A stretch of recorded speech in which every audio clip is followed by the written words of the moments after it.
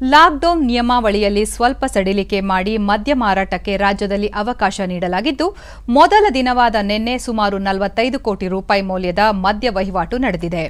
ಅಬಕಾರಿ ಇಲಾಖೆ ಆಯುಕ್ತರು ನೀಡಿರುವ ಹೇಳಿಕೆಯಂತೆ, ನಿನ್ನೆ ಎಂಟು ಲಕ್ಷ ಲೀಟರ್ ಭಾರತೀಯ ಮದ್ಯ ಮತ್ತು ಮೂರು ಪಾಯಿಂಟ್ ಒಂಬತ್ತು ಲಕ್ಷ ಲೀಟರ್ ಬಿಯರ್ ಮಾರಾಟವಾಗಿದೆ.